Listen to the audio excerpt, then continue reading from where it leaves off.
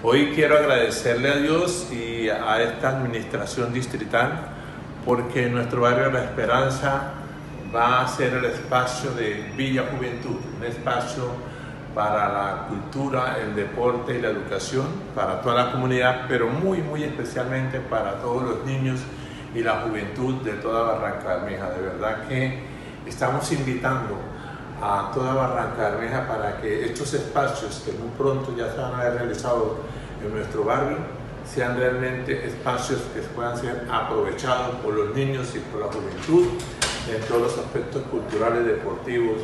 y también en la parte educativa. Realmente eh, es para nosotros de gran alegría saber que en esta administración del doctor Alfonso El Haas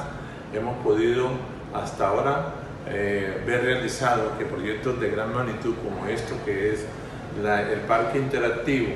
el multipark y también las unidades tecnológicas de Santander, en muy poco tiempo se van a ver cristalizados estos proyectos para beneficio de toda la comunidad, del barrio La Esperanza, de la Comuna 5